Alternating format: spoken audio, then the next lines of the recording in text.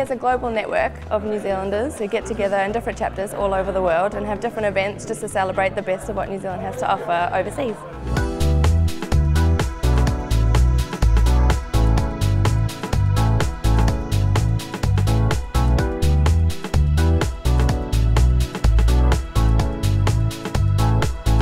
I'm Shane Legg. Uh, I'm speaking here at the Kea event tonight at New Zealand House. I'll be talking about my own personal history and the development of artificial intelligence, where it, where it has been, where it is now and where it's going in the future.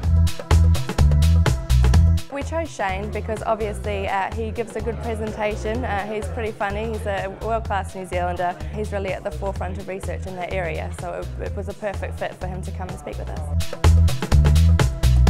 I think the future of artificial intelligence is going to affect the entire global economy. It's going to mean that many jobs that we now sort of take for granted are going to be automated.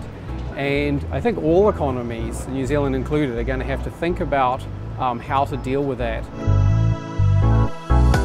He's had no need to really explain himself. No one's really heard too much from him and what he told us tonight was absolutely incredible. There's a lot to take away from tonight's uh, lecture from Shane. The fundamental thing is, is that you know change is coming. It's something that we just need to get used to and we need to understand how we actually um, build on that and do good things with that.